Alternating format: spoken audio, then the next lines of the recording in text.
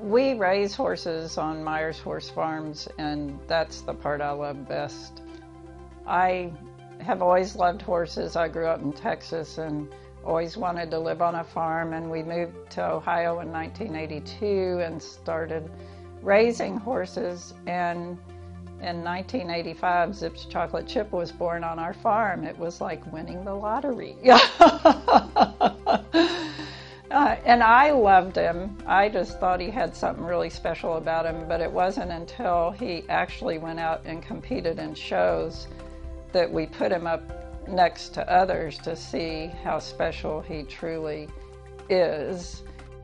The first futurity he showed in as a two year old, he won first under all five judges, and he won the AQHA World Show in Junior Western Pleasure, first under all five judges. I mean, it just is a Cinderella story for us. He's been a magical horse, that's all I can say. He just, everything has gone right for him.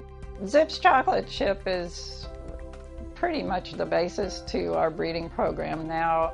I have picked out certain mares to cross on Zips Chocolate Chip um, to get the type temperament, the conformation, the way of moving that I like and we have a very small breeding program here, but we've been fortunate to have quite a few of the horses that we've raised earn national titles and be inducted into the NSBA Hall of Fame.